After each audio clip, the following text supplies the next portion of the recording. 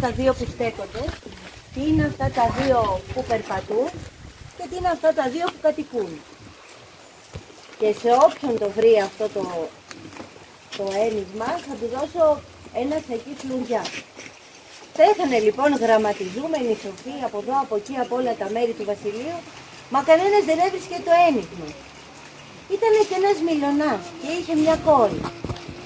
Και η κόρη πάει και λέει στον πατέρα της, «Πατέρα, εγώ την ξέρω την απάντηση. Θα πας και θα πεις στο βασιλιάς. Αυτά τα δύο που στέκονται είναι ο ουρανός και η γη.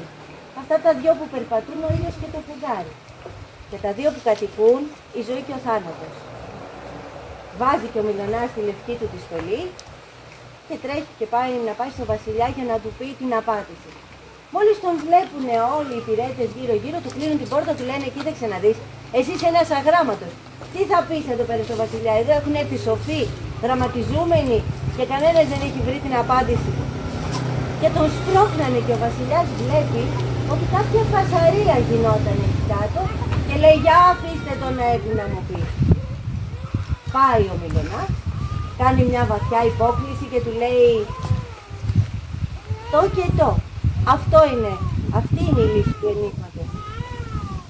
Ο βασιλιάς τον κοιτάει και του λέει μόνος σου, το σκέφτηκες αυτό ή κάποιος το βρω, λέει βασιλιά μόνος μου. Κοίταξε, του λέει δεν μου λες την αλήθεια, εγώ θα σου δώσω το, το σακί με τα φλουριά, αλλά θέλω να μου πεις την αλήθεια γιατί θα σκόρω το κεφάλι. Του λέει, καλά, καλά. Η κόρη μου μου το είπε. Η κόρη σου. Πάρε τούτο εδώ το βαμπάκι και πες της, να μου φτιάξει μια φορεσιά σαν τη δικιά σου, λευκή λευκή. Και πάρε και το σακί με τα φλουριά. Μα αν δεν μπορέσει να μου φτιάξει με αυτό το βαμπάκι μια στολή, εγώ θα τη σκοτώσω. Ο Μιλωνάς πήγε να χαρεί με το χρυσάβι, απ' την άλλη όμως κινδύνευε η ζωή της κόρης του. Τι να κάνει; Πάει και της το λέει.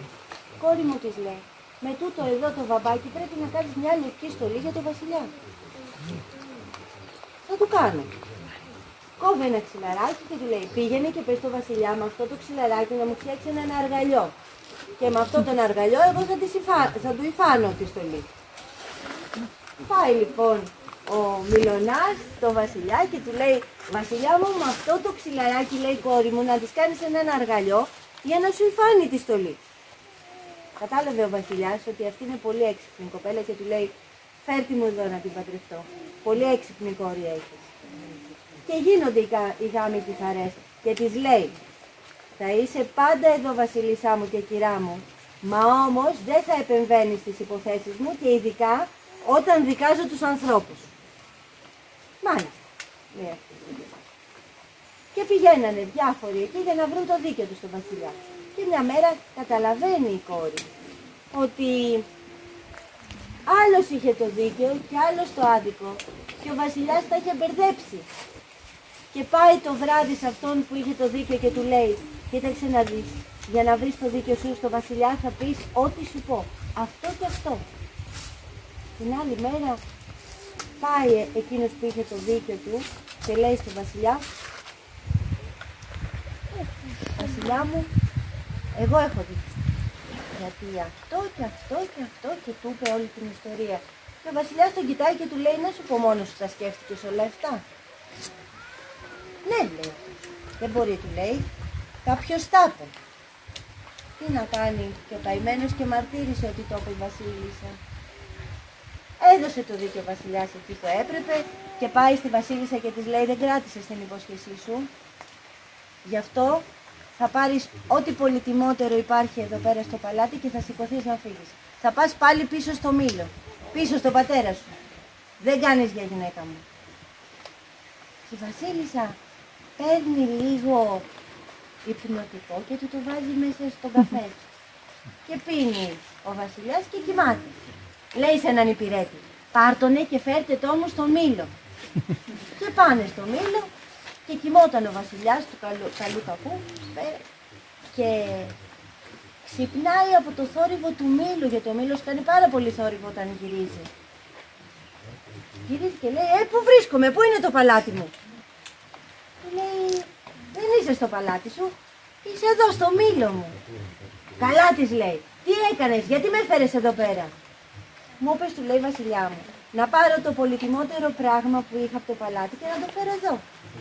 Και το πολυτιμότερο πράγμα ήσουν εσύ. Τις σε έφερες. Και έτσι ζήσανε αυτοί οι ευτυχισμένοι. Και παρά ήταν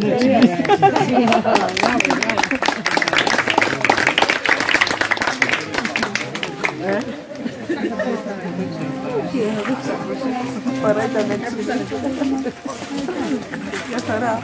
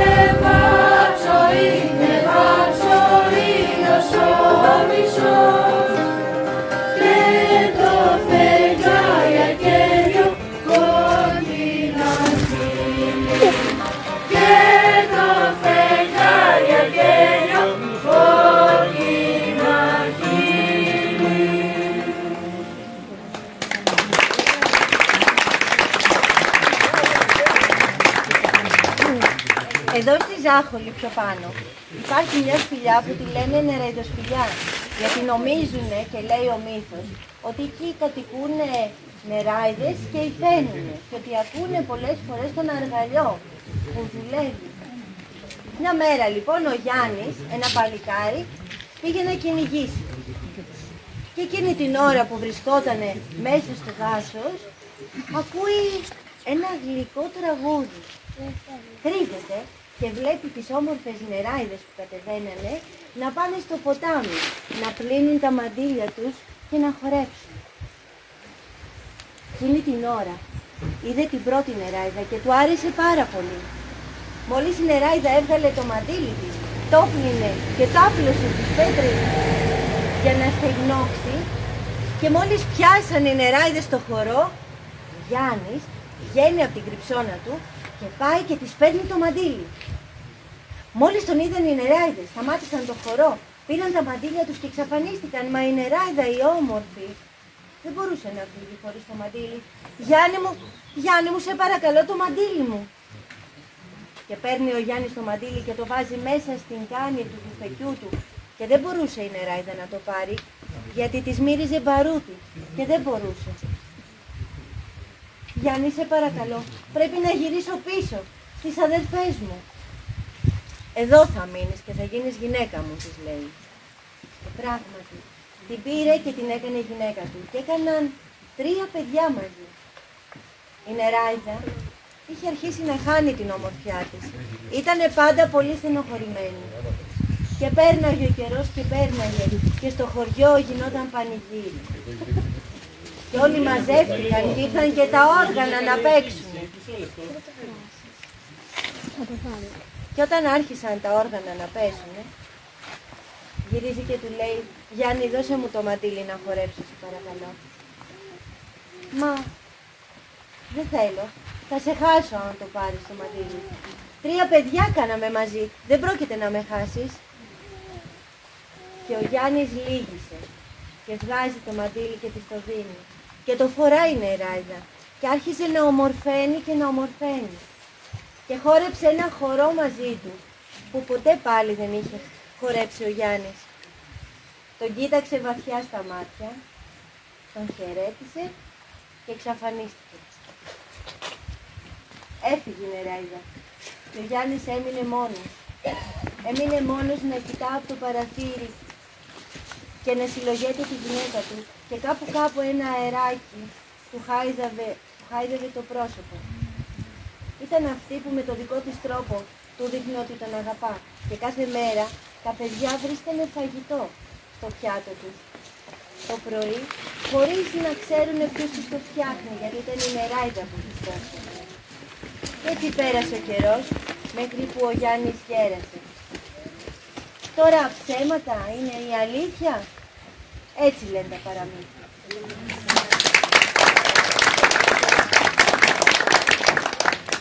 Τικ, τικ, τικ, τικ, τικ, κάνει η καρδιά μου. Πάμε όλοι. Για να- για να- για να ταιριάσει με το-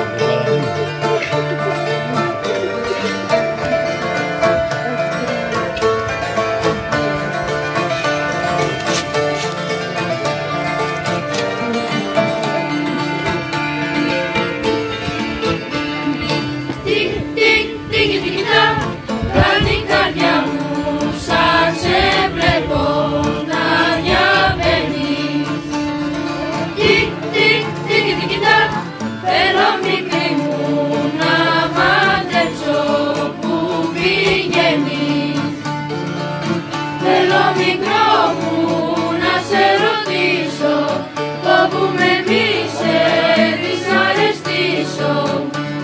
Γιατί όταν σε κοιτώ αρχίζει της καρδιάς το τικ τικ τικ τακ Γιατί όταν σε κοιτώ αρχίζει της καρδιάς το τικ τικ τικ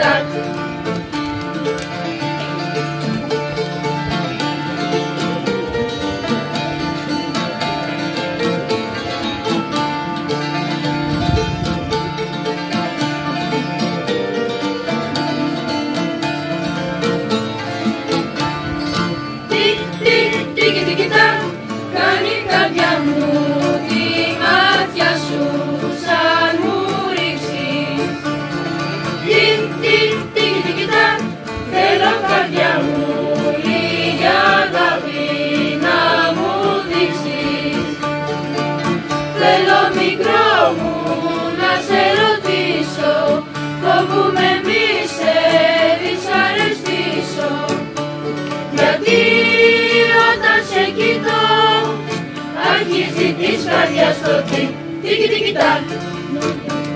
Γιατί όταν σε κοιτώ αρχίζει της καρδιάς το τικ, τικ τικ τακ.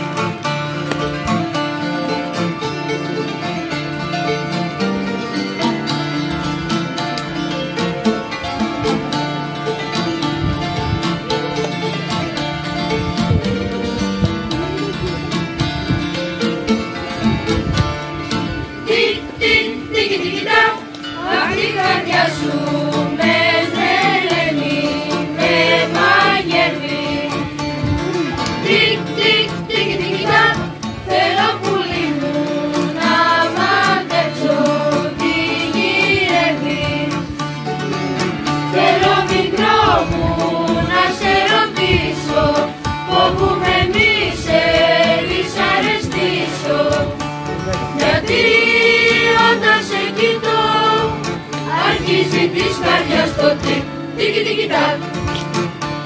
Γιατί όταν σε κοιτώ Αρχίζει της καρδιάς το τικ τικ τικ τακ